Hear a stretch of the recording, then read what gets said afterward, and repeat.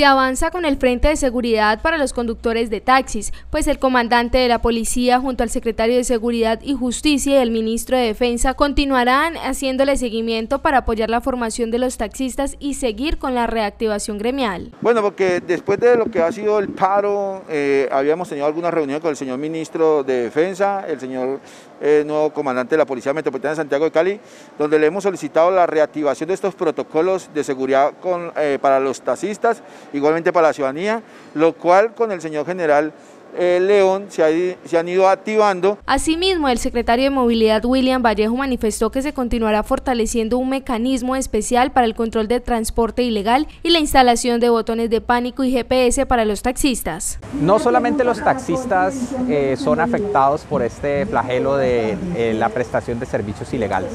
Tenemos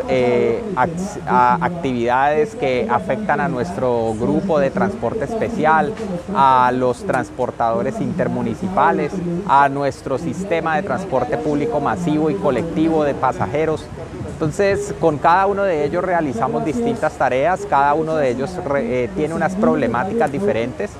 Existen unas acciones desde, el punto de vista técnico orientadas a mejorar la prestación del servicio e igualmente unas acciones operativas en terreno en conjunto con la fuerza pública para desarticular estos grupos que vienen prestando estos servicios de manera ilegal en nuestro territorio.